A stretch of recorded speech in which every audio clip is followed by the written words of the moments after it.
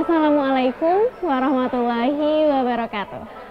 Alkisah ada seorang pencopet yang baru saja tersadarkan bahwa selama ini tindakannya merugikan orang lain dan bisa menambah dosa-dosanya.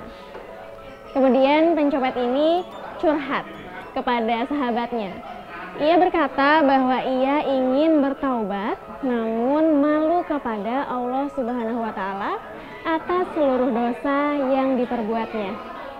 Kemudian sahabatnya berkata bahwa kita ketika malam hari gelap gulita pasti menginginkan cahaya.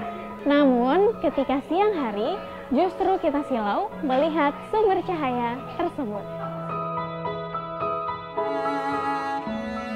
Itulah perumpamaan seorang hamba yang ketika jauh dari Tuhannya Secara alami, ia pasti pernah merasakan rindu kepada penciptanya.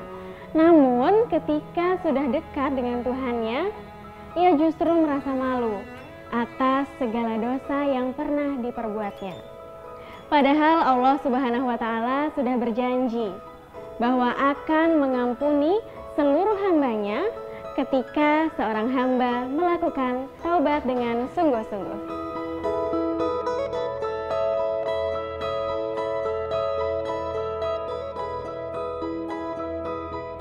Dari kisah ini kita bisa mengambil hikmah bahwa jangan pernah menunda taubat karena alasan malu kepada Allah Subhanahu wa taala.